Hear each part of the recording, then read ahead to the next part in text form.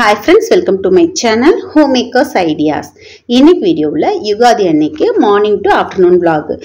காலையில் பூஜை பண்ணினதும் அப்புறம் லஞ்ச் மெனு என்னெல்லாம் ப்ரிப்பேர் பண்ணணும் அப்படிங்கிறதான் பார்க்க போகிறோம் கண்டிப்பாக இந்த வீடியோ உங்களுக்கு இன்ட்ரெஸ்டிங்காக இருக்கும். பூஜைக்கு முதல் நாள் நைட்டே நான் வந்து பூஜை ஜாமான் எல்லாம் க்ளீன் பண்ணிவிட்டு ஃபோட்டோஸ் எல்லாம் க்ளீன் பண்ணிவிட்டு அதுக்கு பொட்டெல்லாம் வச்சுட்டேன்னா பூஜை அன்னைக்கு காலையில் குளிச்சுட்டு பூ மட்டும் வச்சு டெக்கரேட் பண்ணுற மாதிரி தான் இருக்கும். ஏன்னா நான் முதல் நாள் நைட்டே வந்து எல்லாமே ரெடி பண்ணி வச்சுட்டேன். நான் எப்போதுமே பூஜைக்கு முதல் நாளே ப்ரீ ப்ரிப்பரேஷனாக இந்த மாதிரி இது எல்லாமே நான் ரெடி பண்ணி வச்சுக்குவேன். அப்போ தான் பூஜை அன்னைக்கு காலையில் வந்து நமக்கு நைவேத்தியம் செஞ்சுட்டு பூஜை பண்ணுறதுக்கு டென்ஷன் இல்லாமல் ஃப்ரீயாக இருக்கும். இதில் பார்த்தீங்கன்னா யுகாதிக்கு ஸ்பெஷலாக நைவேத்தியமாக நம்ம என்னெல்லாம் வைக்கணும் அப்படிங்கிறது இது எனக்கு என்னோட அப்பா அம்மா சொல்லி கொடுத்தது. பொட்டுக்கடலை வெல்லம் வாழைப்பழம் வேப்பம்பூ. இது எல்லாத்தையுமே வந்து நம்ம நைவேத்தியமாக வச்சுட்டு அதையே நம்ம பிரசாதமாகவும் எடுத்துக்கணும். நாங்கள் என்ன பண்ணுவோம்னா சின்ன வயசுலேருந்தே அப்படி தான் ஃபஸ்ட்டு வீட்டில் வந்து நைவேத்தியமாக இதெல்லாம் வச்சு நம்ம சாமி கும்பிட்டுடுவோம். அதே மாதிரி இதில் கொஞ்சம் கொஞ்சம் நம்ம எடுத்துட்டு கோயிலில் போய் பக்கத்தில் பிள்ளையார் கோயில் இருந்துச்சுன்னு சொன்னால் அந்த பிள்ளையார் கோயிலில் வச்சு எடுத்துகிட்டு வந்துட்டு அதுக்கப்புறமா அதை வந்து பிரசாதமாக நம்ம சாப்பிடுவோம். அது மாதிரி தான் நான் இன்றைக்கும் கூட பண்ணினேன். இதில் இருக்கிறது எல்லாமே வந்து யுகாதி ஸ்பெஷலாக நம்ம வந்து ரெடி பண்ணுறது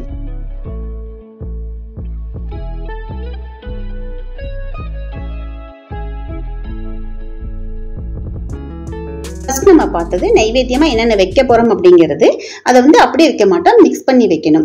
பொட்டுக்கடலை வெல்லம் வேப்பம்பூ அதே மாதிரி வாழைப்பழம் வெல்லம் வேப்பம்பூ அதெல்லாம் மிக்ஸ் பண்ணி வைக்கணும். ஃப்ரண்ட்டில் டோரில் இல்லைன்னா கேட்டில் வந்து மாயில் நம்ம சொருகி வைக்கணும். ஃபஸ்ட் நான் துளசிக்கு பூஜை பண்ணிவிட்டு அதுக்கப்புறமே நான் வந்து பூஜை ரூமில் போயிட்டு பூஜை பண்ணிக்க போகிறேன்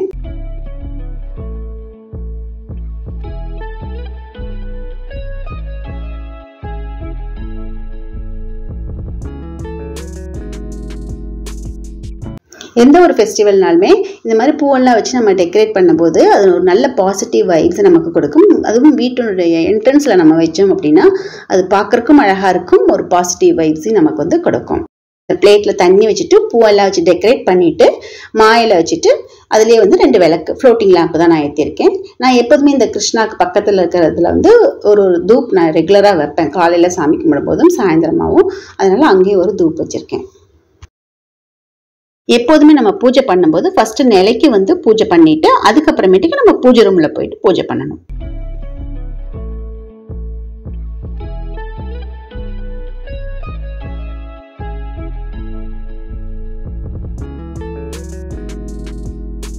நெக்ஸ்ட் பூஜை ரூம்லயும் அகரபத்தி தூப் இதெல்லாமே காட்டி பூஜை பண்ணிக்கலாம்.